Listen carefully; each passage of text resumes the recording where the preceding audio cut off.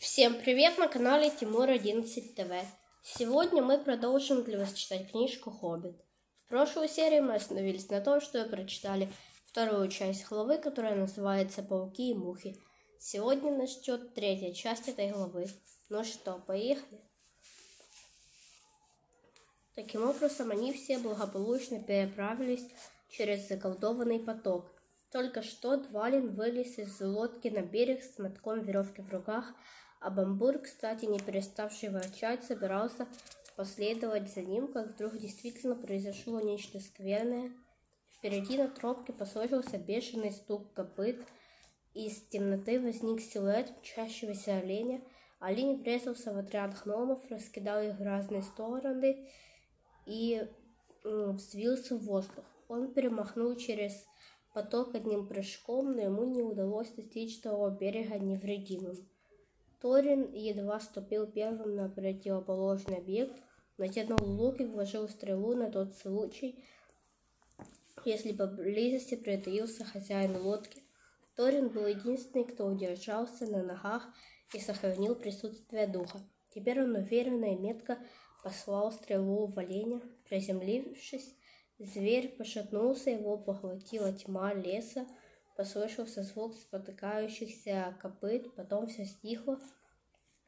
Только все хотели э, воздать хвалу меткому стрелку, как послышался отчаянный возглас Бильбо. «Бомбой в воде, бомбой тонет!»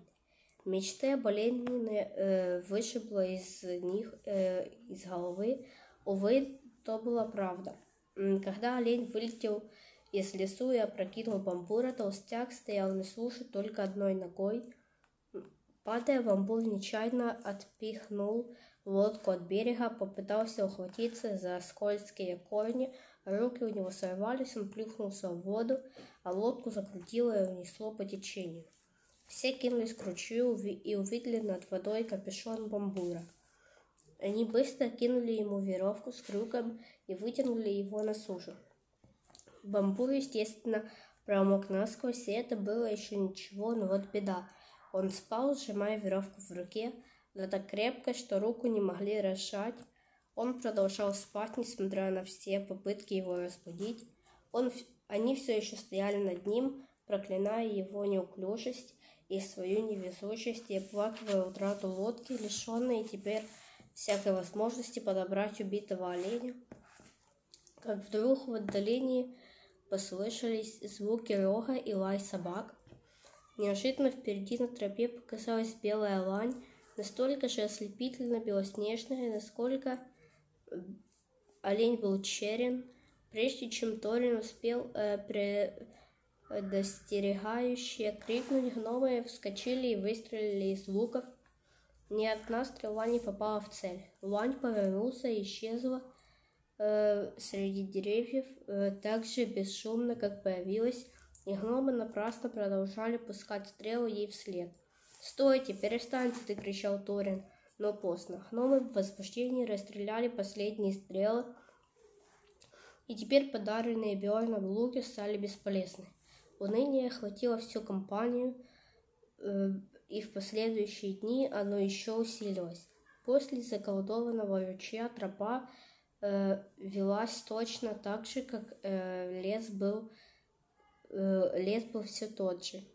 Если бы они знали о лесе побольше, то догадались бы, что приближаются к восточной опушке леса и еще немного терпения и отваги, и они выйдут в более редкий лес, куда проникает солнце.